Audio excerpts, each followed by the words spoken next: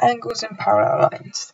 So in this video you're going to learn about what um, angles in parallel lines look like and what uh, is similar and how to find um, missing angles that are, are asked for you in questions. But first we're going to understand what a parallel line is. So what are parallel lines? Parallel lines are two or more lines which are going in the exact same direction and they stay the same distance apart and therefore never meet. There.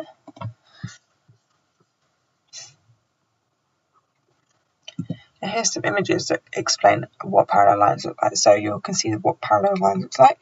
So two lines going in the two or more lines going in the same direction and the exact same distance apart. And then you have some examples of non-parallel lines. So lines that at, at one point, uh, if they continue going, they will um, touch each other, intersect because they are not the exact distance apart. Okay, so types of par uh, uh, parallel line angles. As we're going through these, please do copy down the um, first example for every uh, different angle on parallel lines that we go through. So alternate angles are equal. So have a look at this shape. Well, not really a shape, but more pa a pair of parallel lines. You will see that you've got a pair of parallel lines, which are the ones with the arrows. Okay, you can tell which ones are parallel lines or pairs of parallel lines because they've got arrows in them and they're going in the same direction. And you'll notice that our angles are color coordinated. So therefore angle A and angle C are equal and then angle B and angle D are equal. Now, an easy way of figuring this one out is that it makes a Z. Did you all see that? I'll do it again. So our Z creates what's called an alternate angle that are equal. So you can see inside of our Z, we also have our equal angles. And if we were to draw it in the opposite direction, uh, backward Z, if I was to go in the opposite direction, it would look a bit like a funky Z, but it'd still be a Z shape. Can you see inside of your Z parts? It's B and D, therefore they're equal. Okay, so alternate angles are equal. So if you're able to draw a Z and you have the angles inside of your um, Z corners, that means that they are equal. I'm going to show you a couple more examples of how they look like.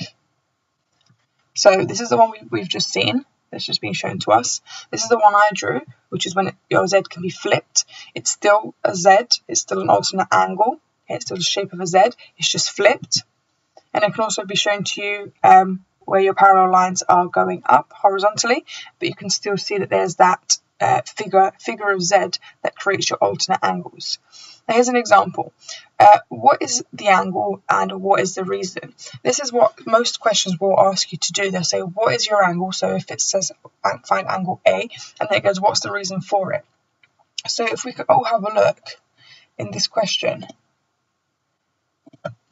if we're talking about uh, alternate angles, you can see that if I draw a dotted line here, if I draw my line this way, I can create my Z shape, which creates my alternate angle. So A is equal to 43, and the reason for it is because alternate angles are equal. So this one's 43, therefore this one here is also 43. Let's have a look at another example. So what is the angle and what is the reason? So if I was to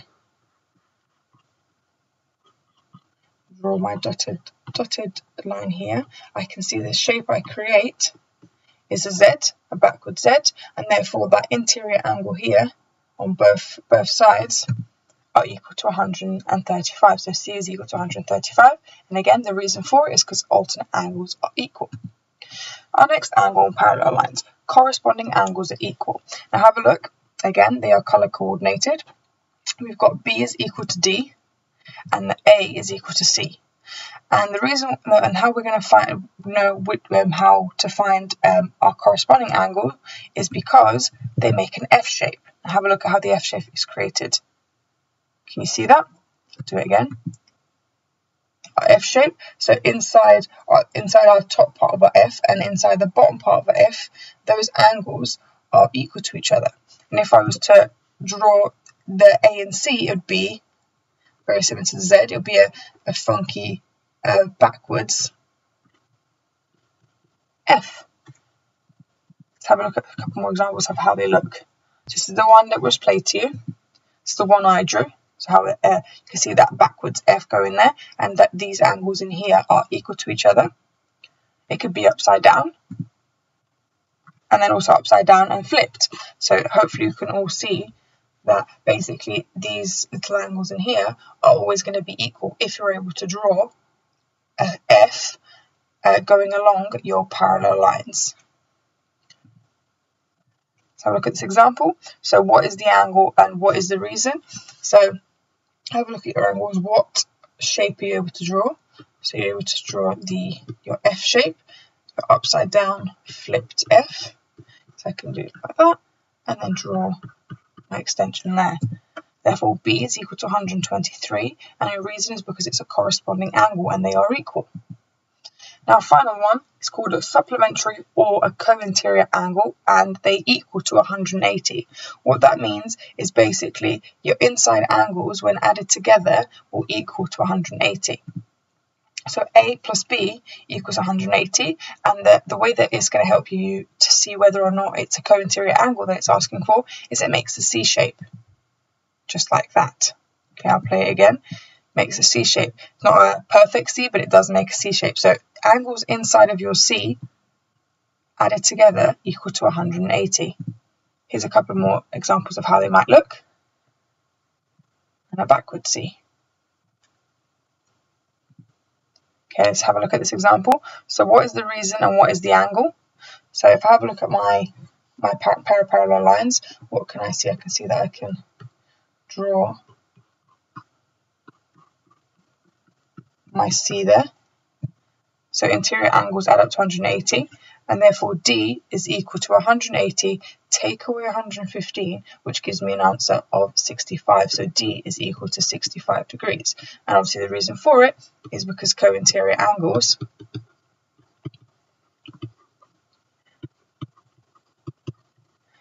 add up or equal to 180 degrees similar to this what this reason was here.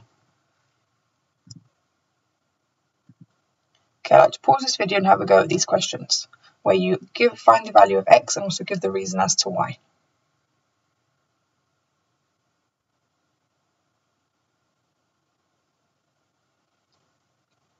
Okay, so E and F were a little bit trickier. So A, I'll put the answers up. So A was 125, B was 57, C was 70, D was 75, E was 127 and F was 47.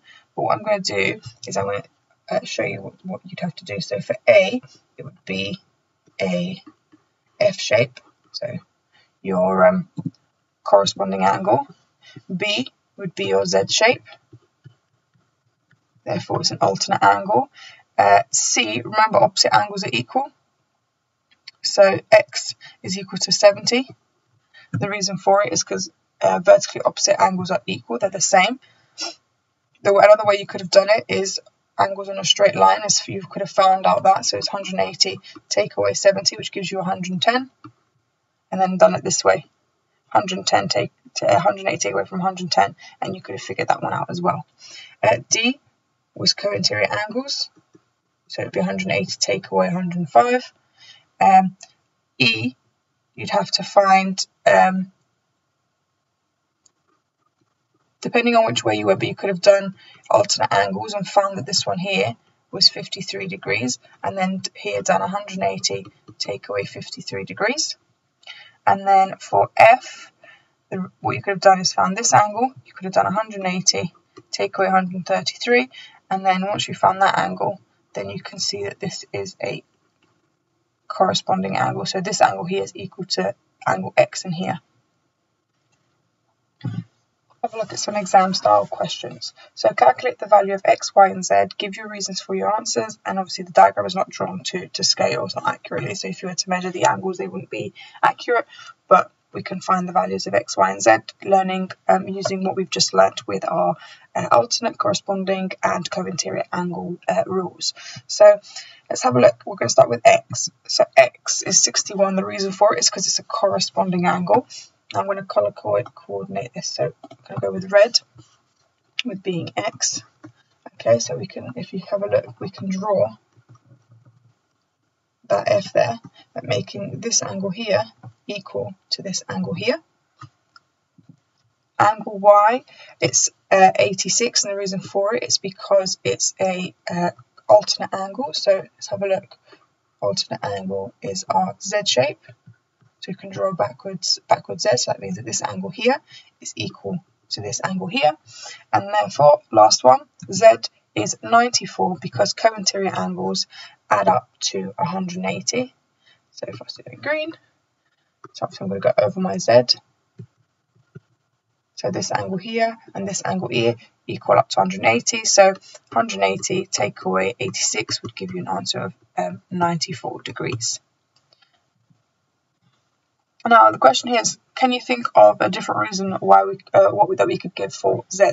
There is because if you notice y and z they're on a straight line, and remember angles on a straight line equal to 180 degrees. So if this one's y and we know that y is 86, we can do 180 take away 86, and obviously that would give us 94 degrees first one. So we could also say that uh, on for z, uh, the reason for z is that uh, y and z are on a straight line, and a straight line is equal to 180 degrees when added together. So pause this video and have a go at this question.